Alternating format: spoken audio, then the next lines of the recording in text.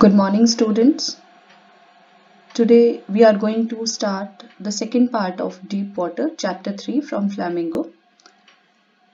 So, before moving, let's recap what we have already studied.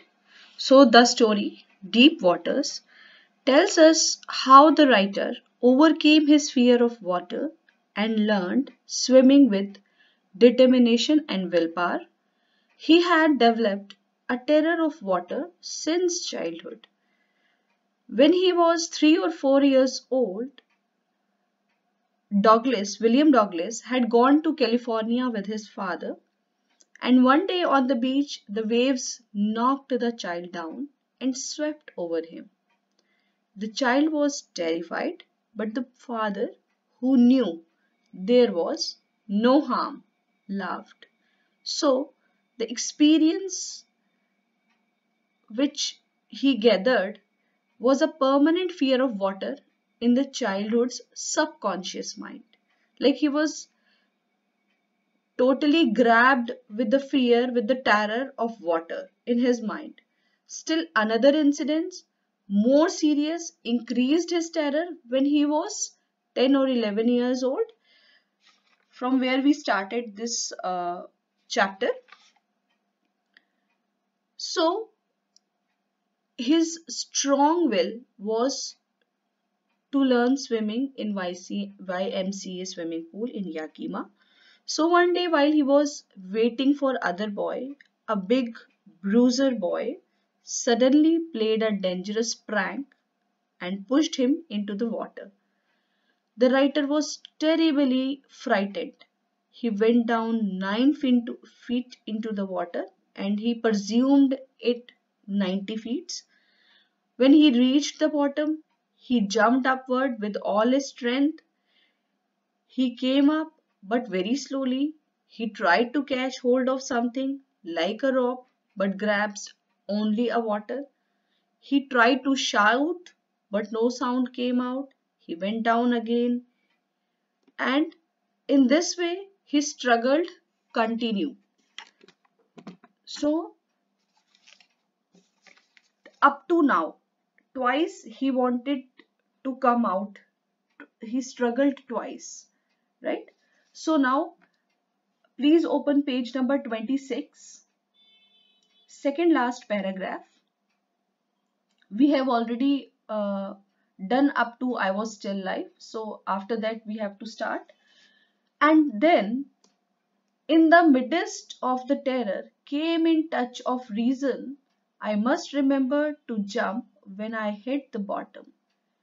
At last I felt the tiles under me. My toes reached out as if to grab them. I jumped with everything I had. So, midst means between.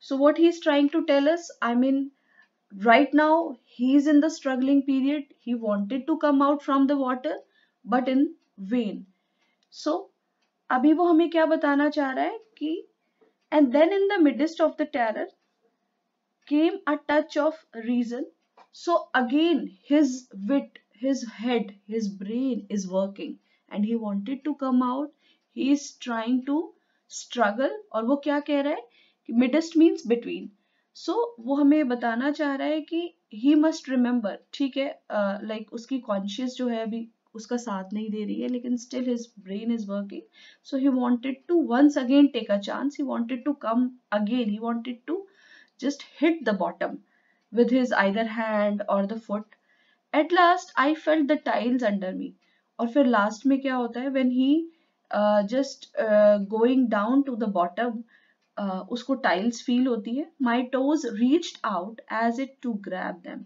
and my toes touched there और उसको लगा जैसे कि tiles ने उसको अपनी तरफ़ खींच लिया। I jumped with everything I had and then again he took a jump to come up but the jump made no difference. So again, this was the third jump. He took it there and that jump was also in vain. Means वो दोबारा से जो jump था, वो भी, उसमें भी बाकी जंप की तरह कोई डिफरेंस नहीं था। He did not get anything he did not grabbed anything he did not grab anything. The water was still around me and he was still he was feeling water around him means he was again uh, felt like he is around the water. I looked for ropes ladders water wings. Nothing took an even deeper hold on me. Uh, sorry. The water was still around me. I looked for rope, ladders, water wings, nothing but water. So he wanted to grab something, he wanted to hold something just to come out. So he was searching for the rope or ladder or something water wings so that उन उनके सहारे वो बाहर आ सके क्योंकि उसको struggle करते हुए भी बहुत टाइम हो चुका था a mass of yellow water held me so अब वो क्या बता रहा है कि अगेन जो येलोइश वाटर था, थोड़ा डर्टी वाटर था, फिर उसने उसको जकड़ लिया और उसको उसके अंदर पानी वो चला गया। Stark terror took an even deeper hold on me. Stark means stark means extreme terror, right? Deep terror. So, अभी वो क्या बता रहा है कि फिर से एक बहुत ही डीप टेरर ने मुझे जकड़ लिया like a great charge of electricity and he felt like उसको एक शॉक लगा हो इलेक्ट्रिसिटी का। I shook and trembled with fright.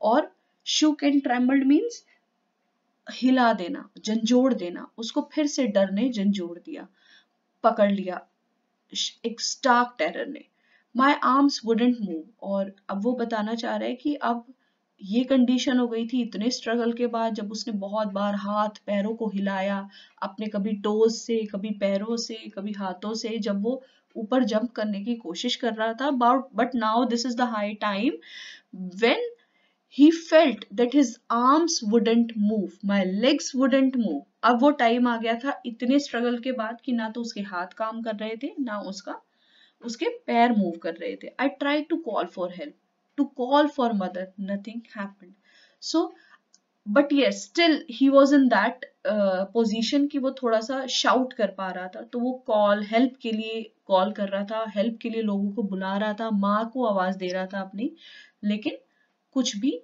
नहीं हुआ।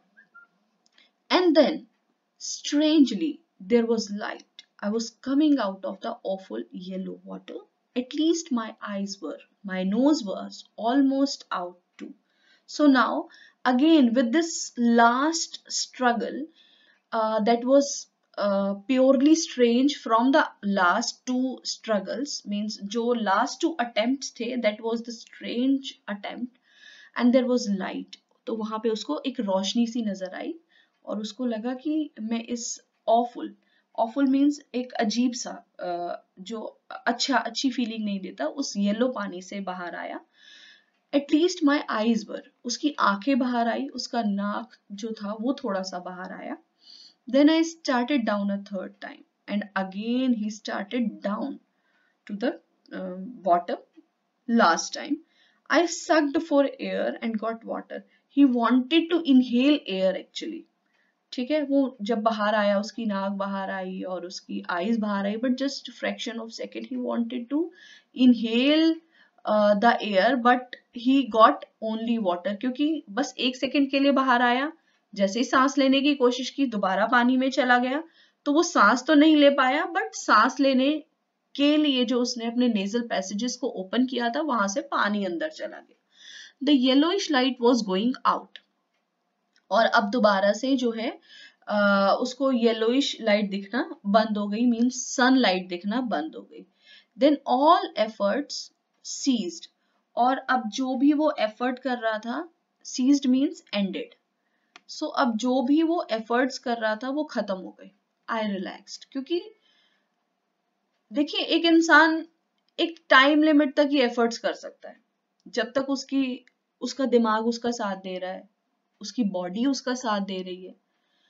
लेकिन एक बहुत लंबे स्ट्रगल के बाद एक टाइम ऐसा भी आ जाता है जब उसको लगता है I am not able to struggle I am not able to survive तो अभी उसके साथ बिल्कुल वही हो रहा था। अभी वो वाला टाइम आ चुका था जब उसके हाथों पैरों ने उसका साथ देना बंद कर दिया था।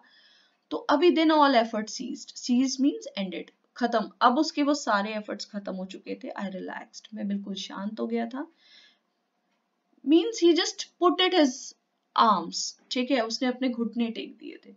Even my legs felt limp and a blackness swept over my brain तो वो कह रहा है कि मेरी टांगे जो थी अभी, वो बिल्कुल लिम मीन्स लाइफलेस तो वो बता रहा है कि जो मेरी लेग्स थी, वो एकदम लाइफलेस हो गई थी and a blackness swept around my mind और मेरे दिमाग में एक अंधेरा सा छा गया था, बिल्कुल means earlier he was using his brain he was using his wit he was using his consciousness, but now this is the time when his brain is not working.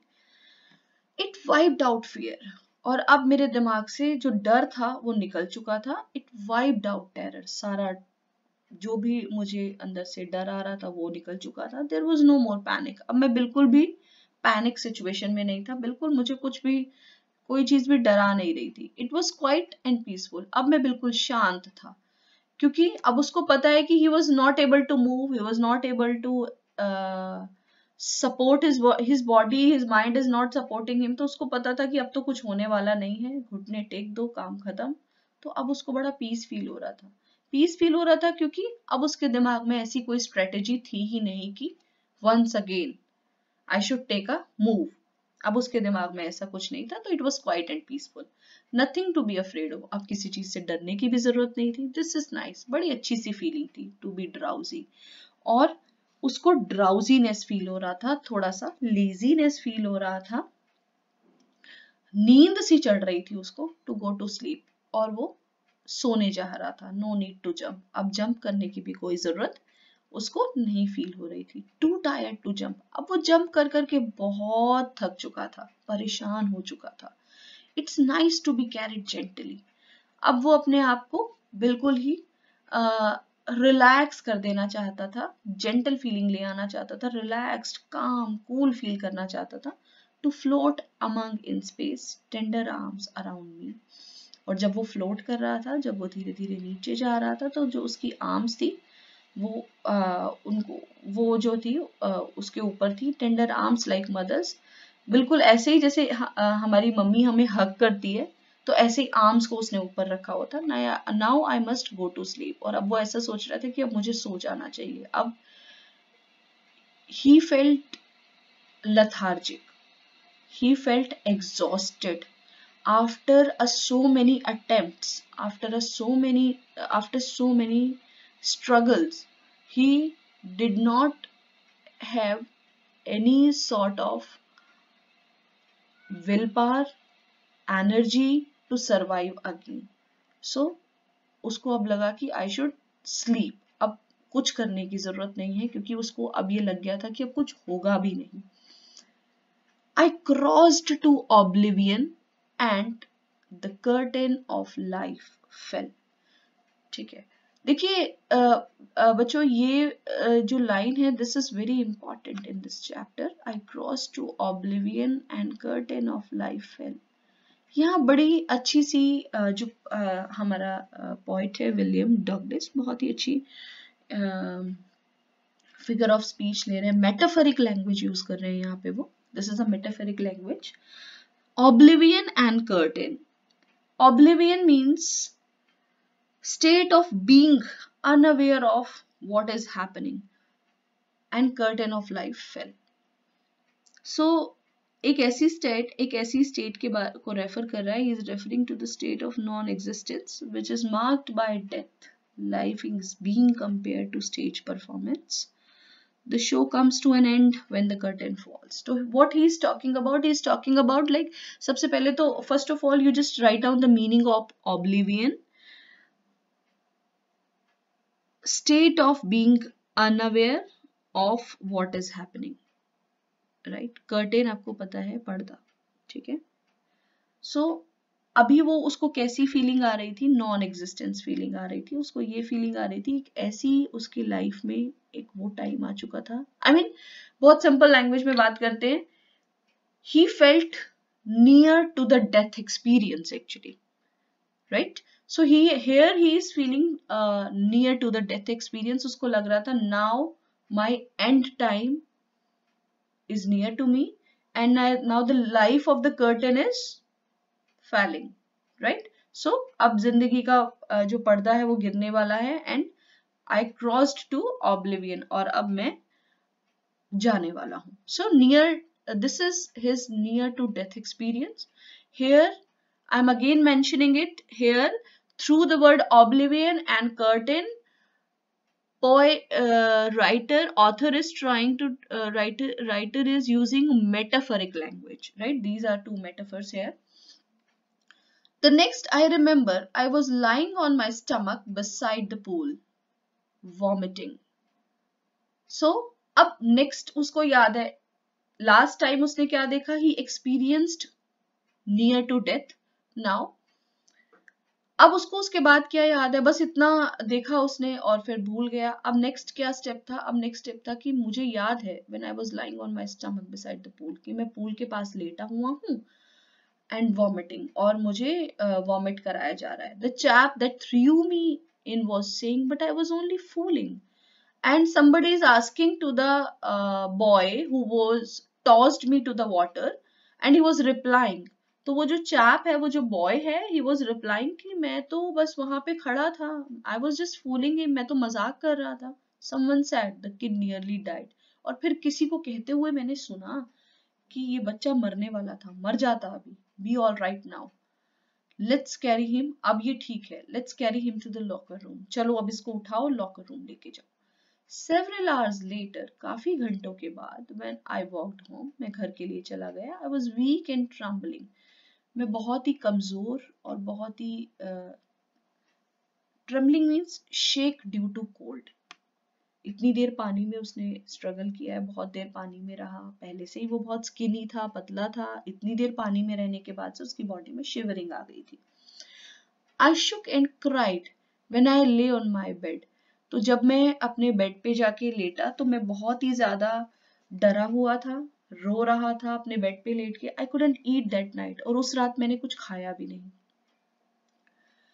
For days a haunting fear was in my heart और काफ़ी दिन तक एक अजीब सा डर मुझे घेरे रहा, मेरे दिल को एक अजीब सा डर घेरे रहा। The slightest exertion upset me और एक हल्की सी एक्सर्शन थी, थकान थी जो मुझे बहुत अपसेट कर रही थी, बहुत परेशान कर रही थी making me wobbly in the knees and sick to my stomach wobbly which means डामाडोल सो so, अब जो उसको वीकनेस आ गई थी वो अपने नीज पे अपने पैरों पे खड़ा भी नहीं हो पा रहा था। उसका स्टमक भी बहुत अपसेट था क्योंकि बहुत सारा गंदा पानी उसने स्वॉलो किया था। बहुत सारा गंदा पानी उसकी बॉडी में चला गया था। तो he was not medically fit fit actually was not able to move he was not his stomach was not properly working I never went back to the pool और फिर मैंने ये डिसाइड किया कि अब मैं कभी पूल पे वापस नहीं जाऊँगा। I fear water again terror he was terror stricken he does not want to go to uh, water. I avoided it whenever i could. तो फिर वो कह रहा है कि जब भी मुझे अपॉर्चुनिटी मिलती उसके बाद मैं अवॉइड करता पानी के पास जाने में। A few years later when i came to know the water of cascades so, अब वो बता रहा है हमें please write down the meaning of cascades cascades means he is talking about the waterfalls झरने की बात कर रहा है। कुछ सालों के बाद, अब काफ़ी साल निकल गए इस बात को, और कुछ सालों के बाद उसको cascades waters of cascades waterfalls के बारे में पता चला। I wanted to get into them मैं वहाँ जाना चाहता था। Again his will power came back again his desperation to go near to the water came back अब वो दोबारा से उसको ये फील हो रहा है कि he wanted to go to water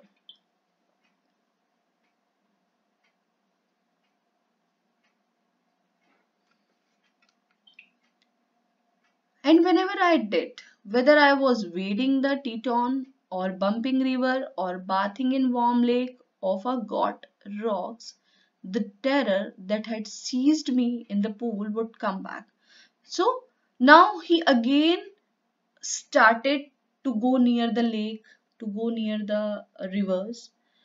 लेकिन जब भी वो बता रहा है कि ये ये सब उसने actually he was like wading means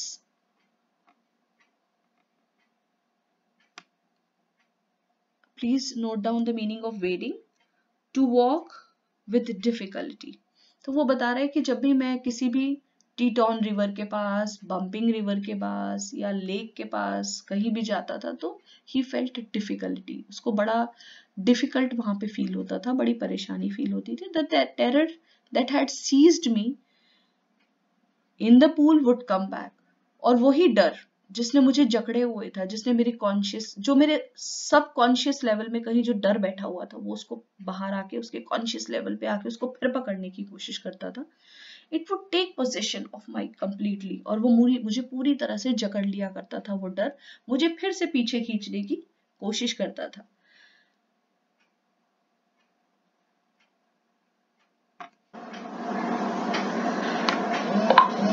जब भी हमारी लाइफ में कोई फोबिया हमें घेर लेता है, जब भी कोई हमारी लाइफ में फोबिया आ जाता है तो it is very hard to come out of this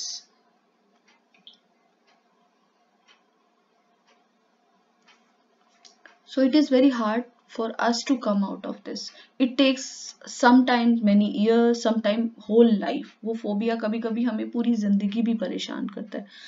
But see up to here we can got to know one thing about William Douglas three या फोर इयर्स का था, तब से ही उसके सबकॉन्शियस लेवल में एक डर उसको सता रहा था, एक डर उसके दिल में बैठा हुआ था हाइड्रोफोबिया से वो जूझ रहा था। उसके सबकॉन्शियस माइंड में हमेशा से ये एक डर था। लेकिन we can see one thing in that particular character कि every time he wants to come out from that fear वो हमेशा ही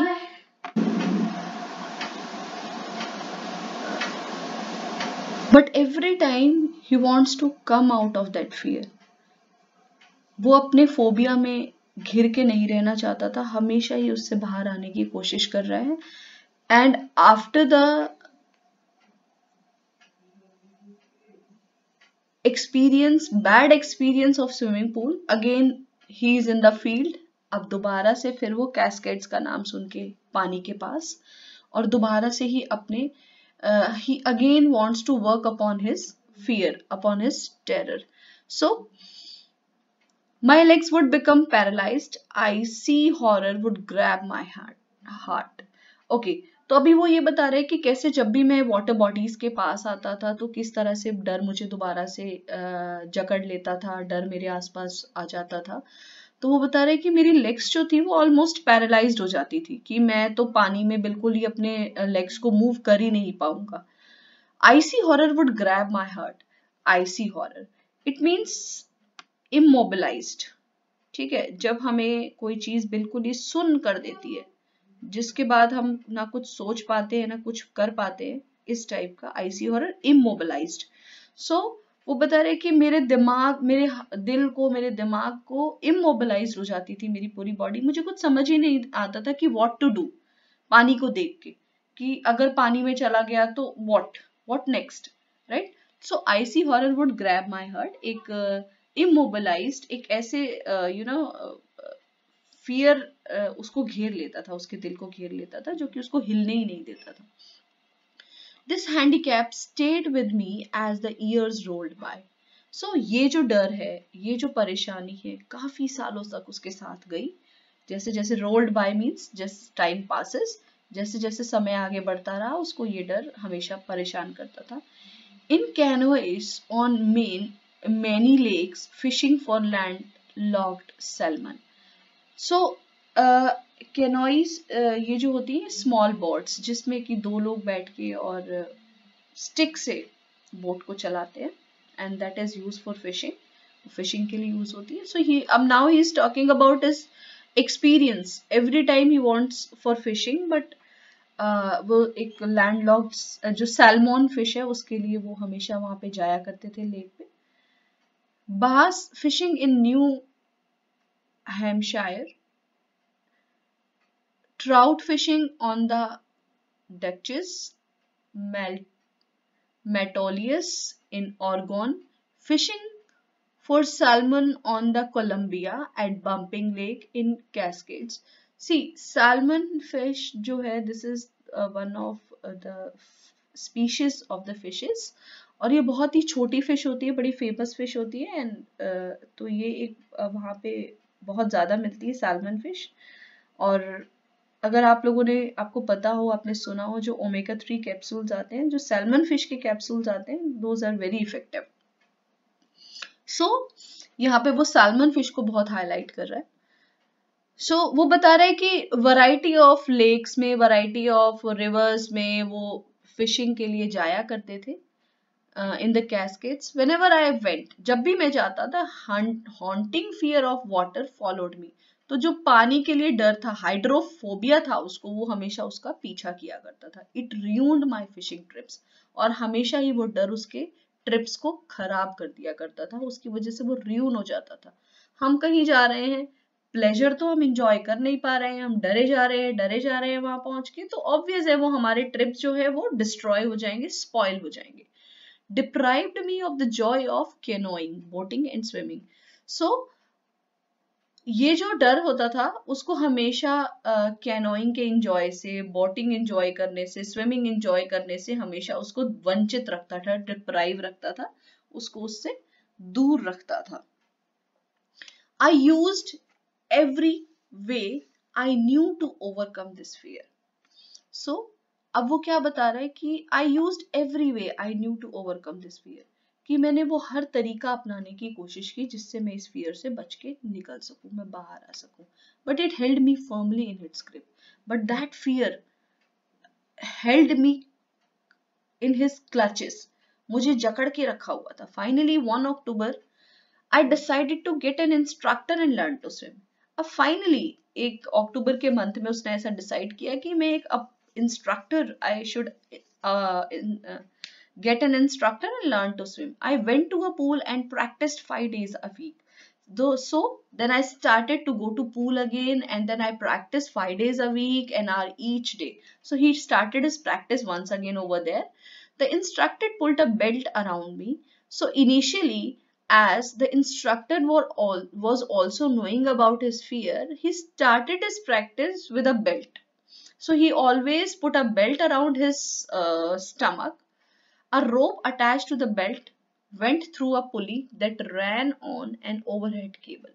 Okay, so एक पुली से वो uh, जो रोप uh, थी जो उसको इंस्ट्रक्टर ने बेल्ट लगाई थी बेल्ट को एक रोप लगाता था रोप को पुली की हेल्प से वो एक एक एज से दूसरे एज पे लेके जाता था उसको और उसमें वो हल्के हल्के हाथ पैर मारता था right so this is the safest way to get him into the water क्योंकि सबसे पहले वो पानी के नज़दीक जाने से जो डर था, वो थोड़ा सा उसको उसको हटाना चाहता था। He held on to the end of the rope और वो खुद एंड ऑफ़ द एज खड़ा हो जाता था। And we went back and forth हम बार बार आते जाते बार बार यही प्रैक्टिस करते थे। Hour after hour day after day week after week घंटों, दिनों, हफ्तों तक यही प्रैक्टिस चलती रही। On each trip across the pool a bit of panic seized me लेकिन हर ट्रिप पे पूल पे जब भी मैं जाता था, एक थोड़ा सा एक डर, एक पैनिक मैं होता ही था। वो मुझे पैनिक सिचुएशन मेरी लाइफ में आती ही थी। Each time the instructor relaxed his hold on the rope and I went अंदर सो so, जैसे ही मैं उस रोप को पकड़ता था जो मेरे हाथ शिविर करते थे मेरे हाथ कांपते थे तो उसको देख के वो मुझे थोड़ा सा कूल डाउन करने की कोशिश करता था फिर मैं अंदर चला जाता था। Some of the old terror return and my leg froze कभी कभी पानी में जाने के बाद वो पुराने डर वापस आ जाते थे मेरी टांगे काम करना बंद कर देती थी सीज्ड हो जाती थी फ्रोज हो जाती थी। It was three months before the tension begin to slack so slack means reduce okay so what he is trying to tell us ki it took three months to reduce the tension reduce the panic reduce the terror of the water उसको तीन महीने के आसपास लग गए उस डर से थोड़ा सा अपने आप को कम करने के लिए थोड़ा सा डर कम करने के लिए then he taught me to put my face under water and exhale and to raise my nose and inhale so now the next step of coaching started into the water and he taught me how to exhale and inhale means whenever I have to go inside the water I should exhale and whenever I raise my nose I should inhale. I repeated the exercise hundreds of times. So just to get rid of my fear, just to learn the techniques properly. He did each and every step hundred times. Bit by bit, I shed part of panic that seized me when my head went underwater. So, वो कह रहा है कि धीरे धीरे बात बात पे मैं अपने उस पैनिक पे कंट्रोल करने की कोशिश करता जो बार बार आ जाता था when my head went under water जैसे ही मेरा सिर पानी के अंदर जाता फिर वो डर आ जाता फिर मैं उस पर काम करता next he held me On the side of the pool and had me kick with my legs for weeks I did just that At first, my legs refused to work, but they gradually relaxed, and finally, I could command them. So, what is the next step? I learned the inhale and exhale then what is the next step the next step was he took me to the another side of the pool and मुझे बोला उसने कि just hold and kick your legs. फिर उसने मुझे legs पे काम करना सिखाया और मैंने काफ़ी हफ्तों तक उस पर भी काम किया। देखिए, जब स्विमिंग पूल में हम बच्चे को छोड़ते हैं स्विमिंग करने के लिए तो सबसे पहले जो ट्रेनर्स होते हैं इंस्ट्रक्टर्स होते हैं, वो वाटर विंग्स लगा के बच्चों को और स्विमिंग पूल के एज के पास ले जाके उसको होल्ड करा के वॉल को और उनको बोलते हैं कि अपने, अपनी बॉडी को स्ट्रेट करो पानी में और अपने पैरों से पानी को फ्लोट करो राइट right? अपने पैरों को चलाओ। So this would be the first step ताकि वो बैलेंस बनाना सिखाते हैं। तो यहाँ पे भी जो इंस्ट्रक्टर है वो विलियम डॉगलेस को ऑथर को बैलेंस uh, बनाना सिखा रहे हैं। बैलेंस बनाना भी सिखा रहे हैं और उसको डर से भी निकाल रहे हैं क्योंकि हमने पढ़ा पीछे कि how he his legs froze when he come to the water but then gradually relax और धीरे धीरे वो रिलैक्स फील करने लगा, उसकी लेग्स जो हैं रिलैक्स फील करने लगी and finally I could command और फाइनली मैंने उस पर कमांड कर लिया। Thus piece by piece he built a swimmer and when he had perfected each piece, then thus piece by piece he built a swimmer. So वो कह रहा है कि धीरे धीरे one by one. I perfected on one to one techniques एक एक करके सारी टेक्निक्स पे काम किया। He built a swimmer swimmer बनाने के लिए। When he had perfected each piece अब जब वो सारी बारीकियों में, सारी टेक्निक्स में परफेक्ट हो गया he put them together into an integrated whole okay so he put them into an integrated whole okay यहाँ हमें ऑथर ये बताना चाहता है कि सबसे पहले उसने वन बाय वन टेक्निक्स को सीखा। सबसे पहले पुली की हेल्प से उसने स्विमिंग पूल में एंटर किया then he learn exhaling inhaling then he learn how to make a balance into the water okay so सारी टेक्निक सीखने के बाद पीस बाय पीस टेक्निक सीखने के बाद सारी टेक्निक्स को इंटीग्रेटेड किया एंड स्टार्टेड स्विमिंग सब चीज़ें एक साथ एक साथ करके उसने फाइनली स्विमिंग स्टार्ट की। In April he said he started his training in the month of October now. He's talking about the month of April. In April, he said, now you can swim. अब अप्रैल में जो instructor है उसका, उसको वो कहता है नाउ यू कैन स्विम अब तुम तैर सकते हो। Dive off and swim the length of the pool crawl stroke तो वो उसको बोलता है, जाओ, कूद जाओ। एक लेंथ से मींस शेलो से स्टार्ट करो। डीप तक जाओ। राइट क्रॉल स्ट्रॉक और स्ट्रॉक्स को यूज़ करो। I did the instructor was finished मैंने कर लिया।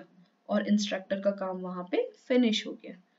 Means his training was finished but I was not finished लेकिन मुझे I was not completely trained मुझे नहीं लगा कि मैं ट्रेंड हो गया मेरा हो गया. I still wondered if I would be terror stricken when I was alone in the pool अभी भी मेरे दिमाग में वो बैठा हुआ था कि अगर मैं पूल में अकेला गया तो फिर से मैं डर सकता हूँ. I tried it I swam the length up and down फिर मैंने पूरी लेंथ को बार बार बार बार आ, करना स्टार्ट किया।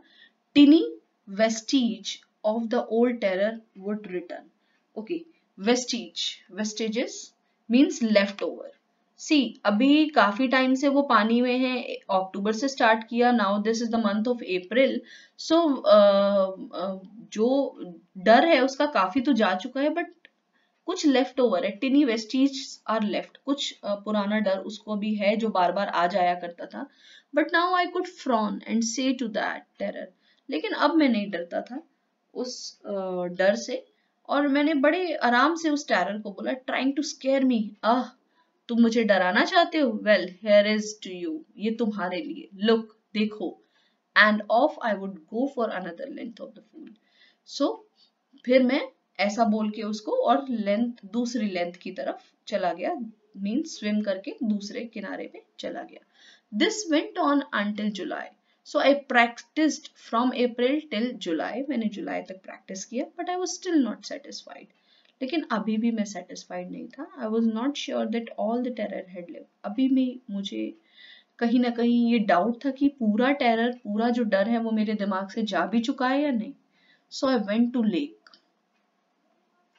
Wentworth in New Hampshire so वो कह रहे कि अब मैं लेक पे गया dived off a dock at Triggs Island और मैंने न्यू हैम्पशायर से और ट्रिगस आइलैंड तक डाइव किया स्विम किया and swam two miles across the lake to Stamp Act Island और मैंने दो माइल तैर के जो है स्विम करके स्टैम्प एक्ट आइलैंड तक आया। आई स्वैम द क्रॉल मैंने क्रॉल्स यूज किए ब्रेस्ट स्ट्रोक यूज किया साइड स्ट्रोक यूज किया बैक स्ट्रोक यूज किया these these all are the techniques of the swimming he learned all the techniques and he applied over there only once did the terror return so once like when i was in middle of the lake so once when he was middle of the lake he was in the deep once that terror came back to him i put my face under and saw nothing but bottomless water so when uh, the terror came, uh,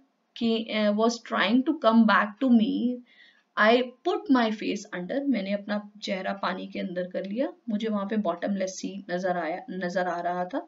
The old sensation return in miniature एक पुरानी जो मेरी यादें थी, वो हल्का सा उन्होंने मुझे दस्तक दी, बिल्कुल छोटी सी miniature means very small I love मैं हंसा and said well mister terror what do you think you can do to me तो मिस्टर टेरर तुम क्या सोचते हो? तुम मुझे डरा सकते हो? It fled and I swim on और फिर वो ये सुन के चला गया और फिर मैंने मैं स्विम कर गया yet I had residual doubts.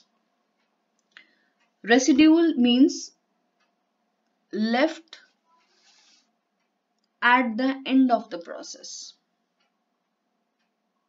Residual doubts means abhi bhi kuch uh, he has left with some you know uh, i mean he is on the ending process of uh, his phobia.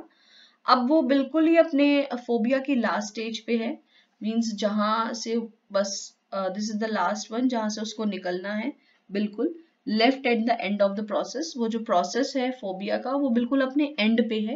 At my first opportunity I heard best so अब uh, जो ये last fear है इसमें मैंने क्या किया? And at my first opportunity. So I got the first opportunity. I hurried west, went up to Teton, to Cornard Meadows, up the Cornard Creek, trail to Meadow, uh, Meadow Glacier and crammed in the high meadow. Meadow means grassy lands. Meadow means grassy lands by the side of Warm Lake. So again he dived to the highest flowing rivers. The next morning I strived तो वो वहाँ पे meadows में जाता है वहाँ पे रुकता है। और the next morning I strived so next morning he just put up his uh, swimming costume into the lake lake में कूदता है and swam across to the other shore and back तो एक किनारे से दूसरे किनारे पर जाता है काफ़ी लंबी लेक है। और फिर वापस just as Dodge Corpon okay Dodge Corpon is a famous swimmer of US ठीक है?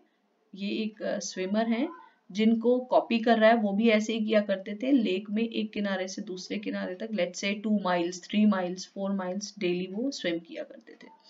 I shouted with joy and Gilbert peak return echo so जब मैं वहाँ से आया तो आई शाउटेड विद जॉय कि out I did it I मैंने अपने डर पे काबू पा लिया। वो चिल्लाया और जो गिलब्रिट पीक पे जहाँ पे वो वापस आया था, वहाँ पे उसकी साउंड ने इको किया। मीन्स पलट के उसके पास वापस आई। I had conquered my fear of water और अब मैं अपने, जो मेरा पानी के लिए डर था, उस पर जीत हासिल कर चुका था। मैं जीत गया था उस डर से। My experience had a deep meaning for me और जो ये मेरा लाइफ का एक्सपीरियंस था, इसका बहुत ही डीप मीनिंग है लिटरल मीनिंग है मेरे लिए as only those have known terror and conquered it can appreciate और ये वही लोग समझ सकते हैं जो कभी किसी एक्सट्रीम टेरर से निकले हों, कभी जिन्होंने ऐसी चीज़ें, कोई deep terror deep fear encounter किया हो, फिर उस पर जीत हासिल की हो इट कैन अप्रिशिएट वही लोग इस, इन सब चीज़ों को समझ सकते हैं अप्रिशिएट कर सकते हैं. In death there is peace देखिए पॉइंट हमें ये भी बताना सॉरी ऑथर हमें ये भी बताना चाह रहा है कि in death there is peace कि मरने के बाद तो शांति है ही है, सब कुछ शांत है। लाइक like वो एक सिचुएशन उसके स्ट्रगल में ऐसा भी आया था कि वो बिल्कुल पीसफुल हो गया था काम हो गया था कूल हो गया था। There is terror only in the fear of death लेकिन डर कहाँ पे है? मरने के लिए। Means if we are going to die that is terror but if we are dead there is no terror there is only peace as Roosevelt knew when he said ये सिर्फ़ uh, ये रूजवेल्ट के words हैं जब उन्होंने कहे थे all we have to fear is fear it so यहाँ पे वो क्या बताना चाह रहे हैं?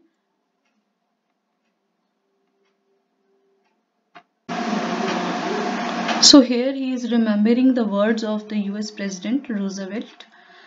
He stated, all we have to fear is fear itself. Roosevelt uh, बता uh, कह रहे हैं और उन्हीं words को he is remembering कि we need to fear of fear itself. हमें डर से डर के रहने की ज़रूरत है हमें डर को अपने पास नहीं आने देना है हमें उससे डर के रहने की ज़रूरत है because I had experienced both the sensation of dying and the terror that fear of it can produce, the will to live somehow grow in grew in intensity. तो अब वो क्या बता रहे हैं कि he actually had experienced both the sensation. Once he felt the experience, he experienced the sensation of dying and the terror. Like he was the fear stricken so so, दोनों ही चीज़ें उन्होंने एक्सपीरियंस किया डर को भी एक्सपीरियंस किया है near to the death experience किया है। और इन्हीं सब दोनों चीज़ों ने the will to live somehow grew in intensity उनके जीने की इच्छा को और स्ट्रॉन्ग कर दिया उनकी विल पावर को और स्ट्रॉन्ग कर दिया। At last I felt release और अब वो लास्ट में कह रहे हैं कि at last I felt release कि वो बहुत ही एकदम फ्री फील कर रहे हैं शांत फील कर रहे हैं। Cool हैं free to walk and trails and the peaks and to brush aside fear और वो कह रहे हैं कि अब मैं इतना फ्री हो चुका था उस डर से कि मैं छोटे रास्तों पे पगडंडियों पे चल सकता था पीक्स को क्लाइंब कर सकता था और अपने डर को एक साइड में रखता था। सो so, in the last paragraph actually uh, the author trying to tell us the experience actually uh, this experience has a uh, had a great importance uh, in william's life. He realized that death was peaceful and only the fear of death was fearful. He recollects the words of one of of the presidents of america roosevelt. Roosevelt had said that all we have to fear is fear itself as William had experienced death and the fear of death, so his desire to live grew immensely. He felt released from fear and was free to walk up the trails and climb up the mountains fearlessly. So, this is the line by line description of the chapter Deep Water. Thank you students. Thank you so much.